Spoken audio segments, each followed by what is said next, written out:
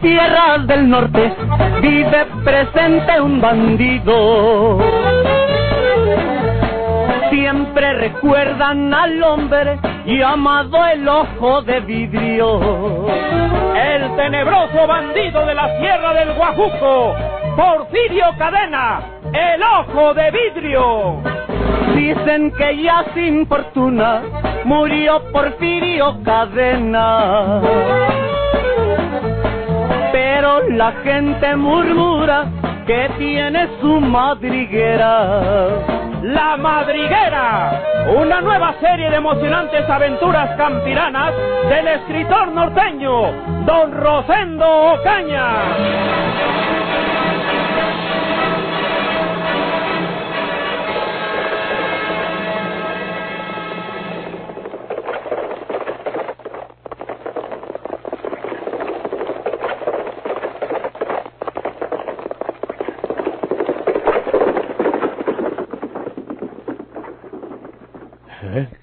¿Quién es, mijo? Es el comandante. Viene apresuradamente, algo debe haber ocurrido. Mm.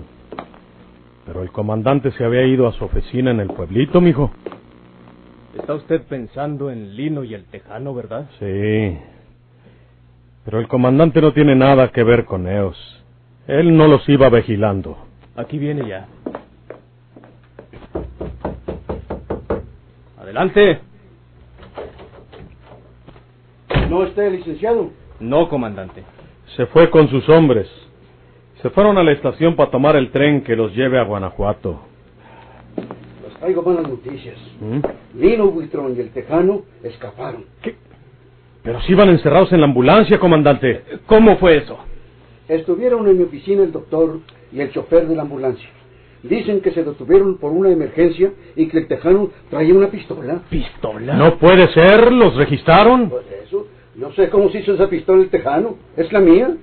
¿La pistola de usted? Sí, sí. Pe- ¿Pero cómo se hizo, Dea? Pues hombre, debe haberme la sacado de la funda. Ahora recuerdo que cuando los hombres estaban cavando la sepultura, yo estaba junto al tejano. Después, cuando regresamos aquí, me di cuenta de, de que ya no traía mi pistola. Era la funda sola, pero creí que la había perdido por el camino, porque quedaba floja en la funda y podía habérseme salido. Se la sacó el Tejano. Pues, indudablemente. Pero antes no se me ocurrió eso. Estuvimos comentando el asunto, el licenciado y yo, pero ninguno de los dos se nos ocurrió pensar que alguno de ellos me hubiera sacado la pistola. Yo le dije a mis hombres que la buscaran por el camino. Eso debe haber sido. El tejano le sacó la pistola y se valió de ella para amenazar al doctor y al chofer. Oiga, comandante, pero en la ambulancia, además del chofer y el doctor, iba otro policía de los que vinieron de Guanajuato, con el agente del Ministerio Público. Pues sí, es verdad, sí. Pero dice el doctor que como los tres iban muy incómodos en la ambulancia, en el asiento del chofer, pues llegaron a la conclusión de que el otro policía podía irse a la estación con los otros hombres del licenciado. Y que entonces se bajó de la ambulancia el policía y fue a reunirse con sus otros compañeros. Y entonces iba nomás el chofer y el doctor. No más ellos, sí señor.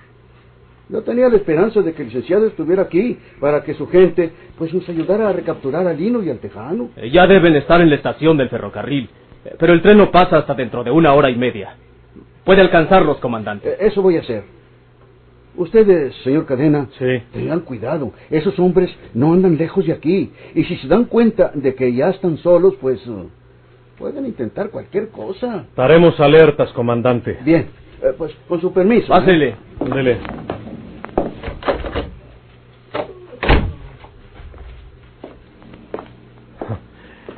Metió la pata el licenciado. Se los hubiera llevado él. ¿Para qué se los dejaba al doctor y al chofer? El licenciado ordenó que fuera con ellos otro policía. Hicieron muy mal en dejarlo para ir más cómodos. Tarugos. Ahora para que los agarren será la gracia.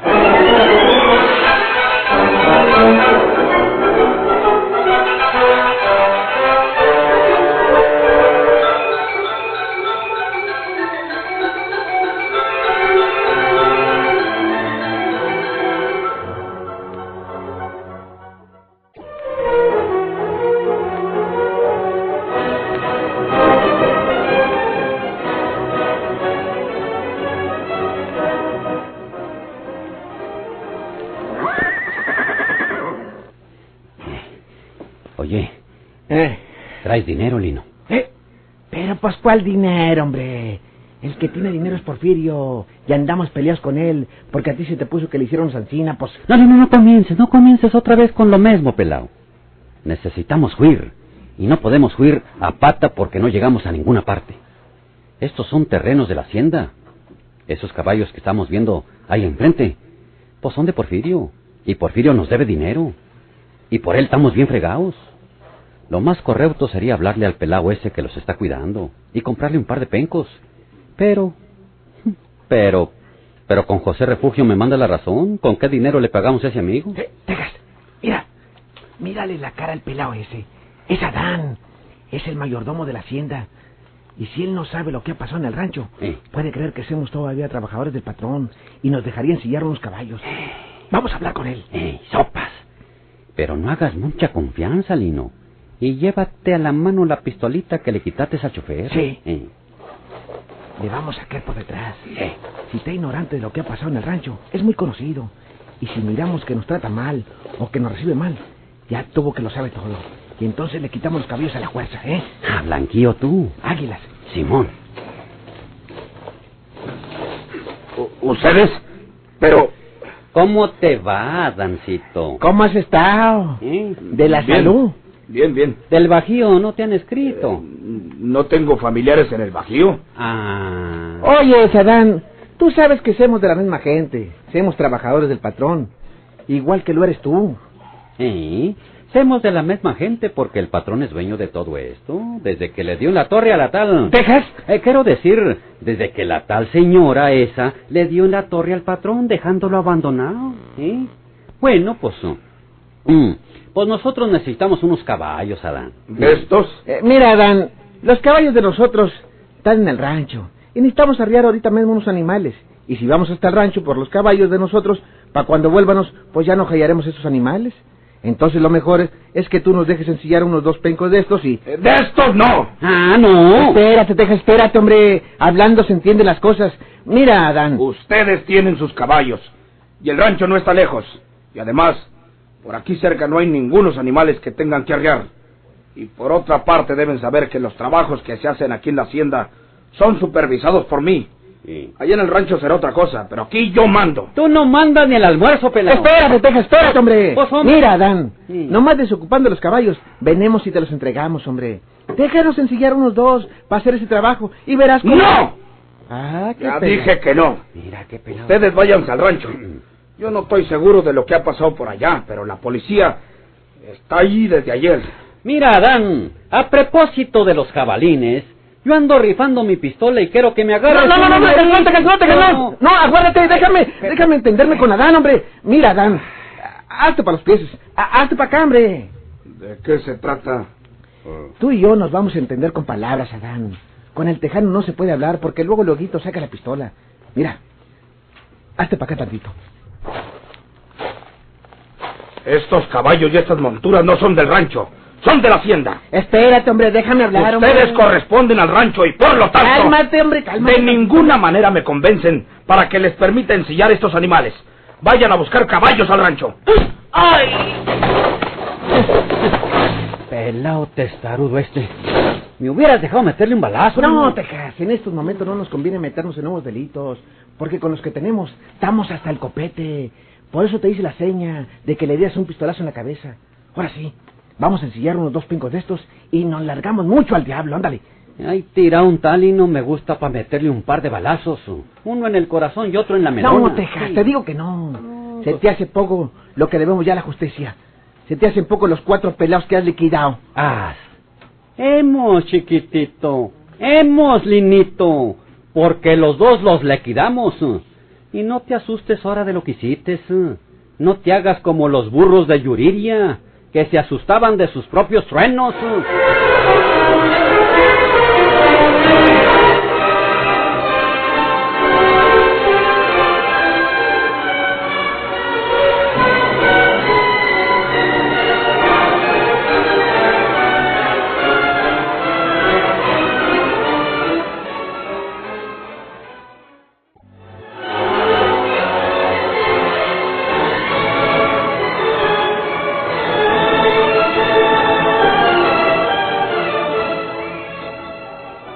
Hijo Alejandro y yo vamos a dar una vuelta a la hacienda porque nos acaban de avisar que Lino Huitrón y el Tejano se pelaron. Se pelaron. Sí, los llevaban en la ambulancia.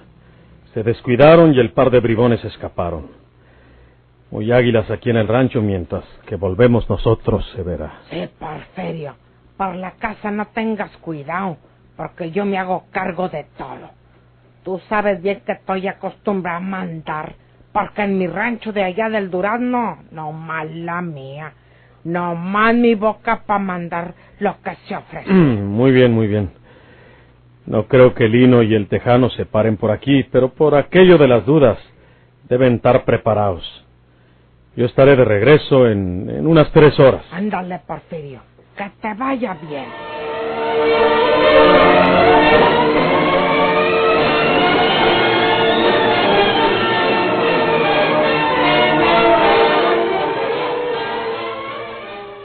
En aquellos momentos, Porfirio solo tenía ideas para pensar en lo que habría de hacer en caso de que se presentaran Lino y el Tejano. Y no se dio cuenta de que Severa se sintió dueña y señora de la casa por el solo hecho de que él le encargara su vigilancia. A Severa ya le habían contado que José Refugio, el cocinero, se las daba de mandamás en el manejo de la finca. Mira, Severa, yo sé bien que tú eres la prometida de Porfirio y que en vista de Opos eres la mera mera en el rancho. Pero José Refugio, el cocinero, y que se dice valete de Porfirio, dice que nomás él.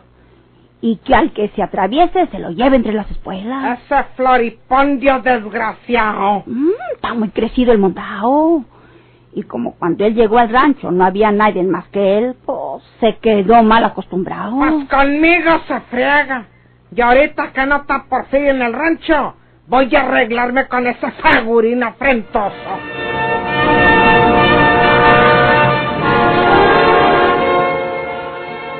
Naturalmente, también había intrigado cerca de José Refugio la chismosa de Candelaria, hablándole precisamente de Severa.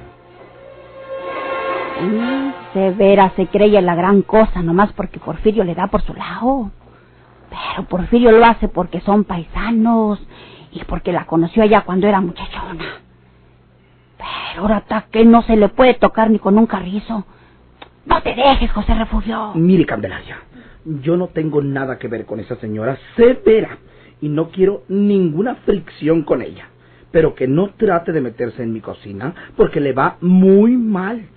Que de por sí no me cae bien su tipo de mujer ignorante y necia. Ay, viene con su hija Mónica. Bueno, yo me voy para que te entiendas con ella.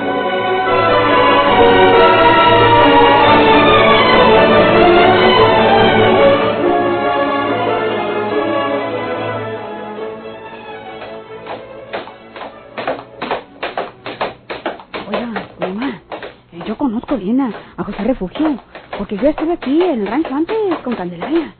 Es mejor que no se meta usted con él, mamá. Usted no tiene que darle consejos a su madre, mija.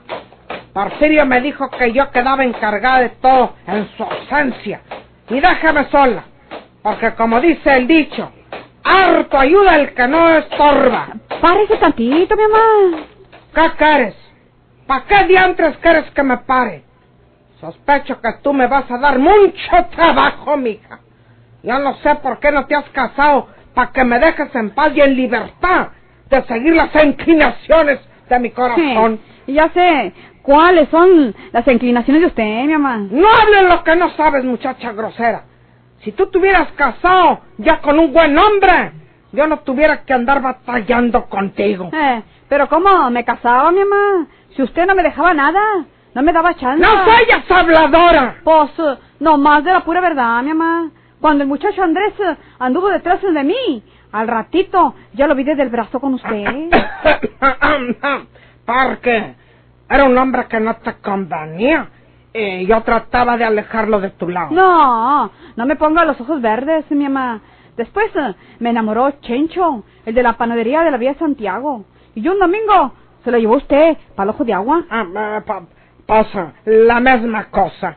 Porque no lo quería para ti y lo agarré ah, dándole muchos consejos. Iban del brazo, mi mamá. Ah, ah, po- porque lo estaba eh, tratando por las buenas, a ver si Ancina entendía el condenado. Eh, y vale más que no me esté quitando el tiempo. Ahorita voy a la cocina porque quiero darle a Porfirio la sorpresa de que este día como una gallina en mole y arroz que yo le voy a preparar. Pues, eh, José Refugio, no es dejado, mi mamá. ¿A poco te gusta, condenada? No, mi mamá, porque hacíamos uh, cortocircuito. Pero si usted va a meterse en su cocina, no le va a gustar nada. Pa' si no le gusta, que se largue a la fregada.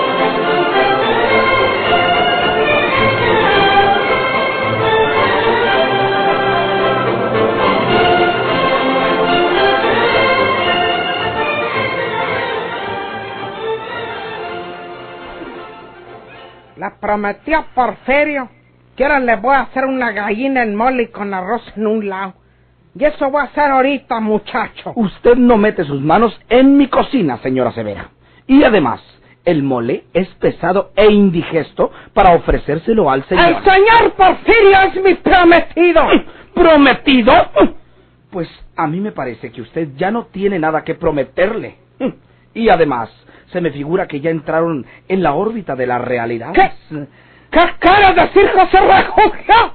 Tú como no sabes de ciertas cosas, no puedes juzgar los amores de un hombre y una mujer. Pero a usted ya se le pasó el camión, Severita. ¿Cómo? Debe usted comprender que el señor Porfirio es un hombre de una relativa juventud, mientras que usted ya es una vieja que puede pasar por su mamá. Por la tuya. ¡No me insulte! Pues no me pongas años de más condenado, porque yo soy de Escobar.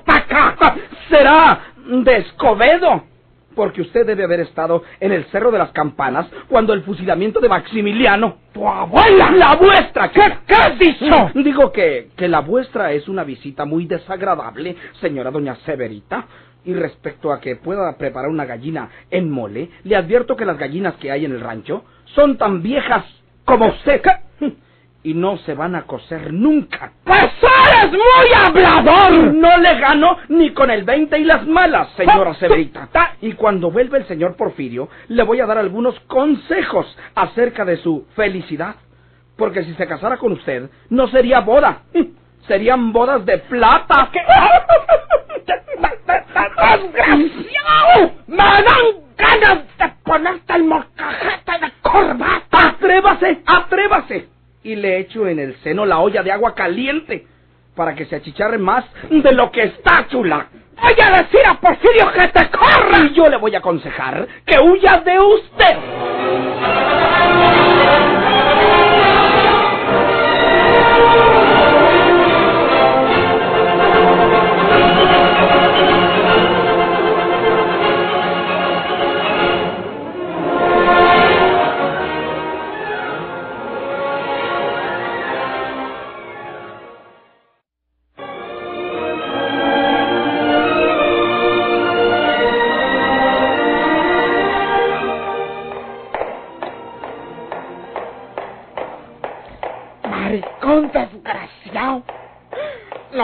Llegando Porfirio, le voy a decir, o este o.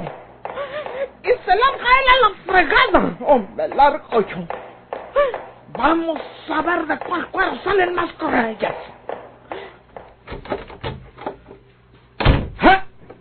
Ustedes aquí en mi cuarto, par de matones desgraciados. Severita.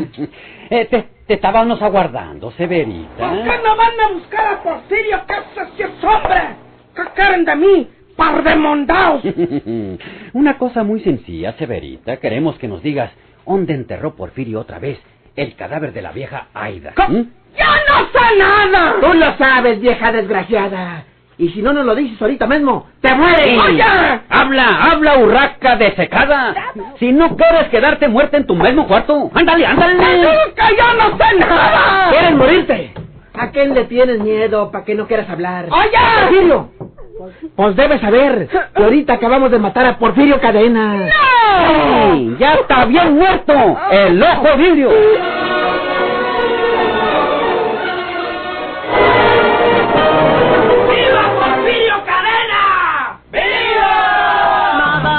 Las balas a ese Porfirio Cadena. Porque allá en tierras lejanas él tiene su madriguera. La Madriguera. Por esta estación y a la misma hora, sigan escuchando los vigorosos capítulos de esta nueva serie rural mexicana del escritor norteño, don Rosendo Ocañas. Muchas gracias por su atención.